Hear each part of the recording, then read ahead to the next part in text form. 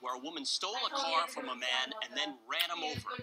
Good evening and welcome to this web edition of WBZ News. I'm Ken MacLeod. And I'm Katie Brace. The woman then crashed the car into a Dunkin' Donuts. WBZ's Paul Burton has the story tonight. She took off. It was chaos. Stuff like that doesn't happen around here.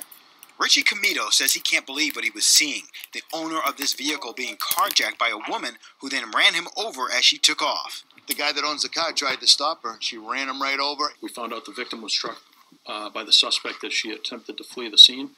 Uh, she attempted fleeing the scene and headed back into Nahant.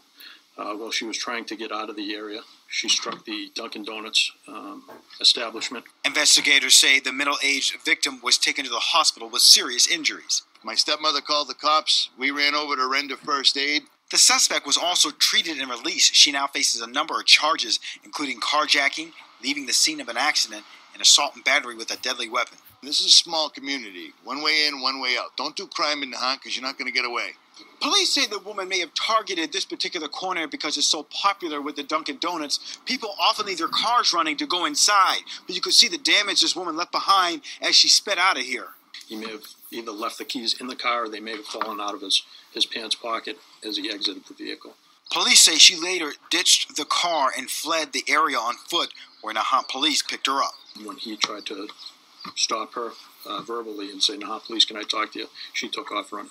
I saw her a mile away. She didn't belong here. She didn't look right. And within a minute of me saying that to my stepmother, that happened. The woman is being held and will be arraigned next week. In Nahant, I'm Paul Burton, WBZ News.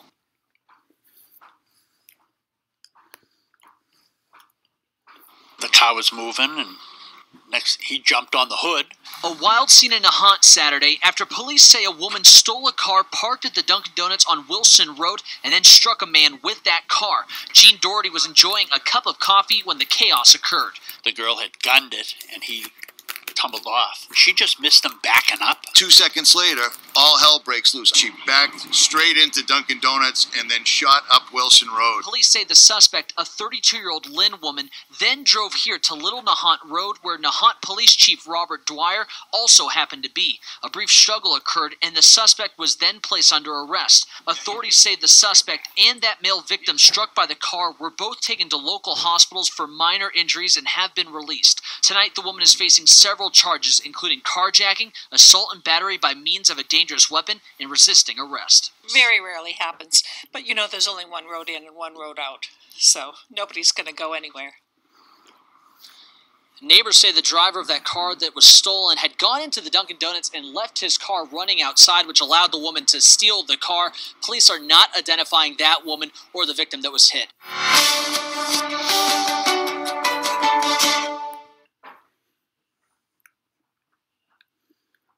Some of the stories just uh, a little conflicting there, aren't they?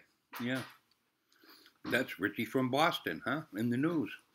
He's such a lapper. Honestly. I wonder who paid him for that.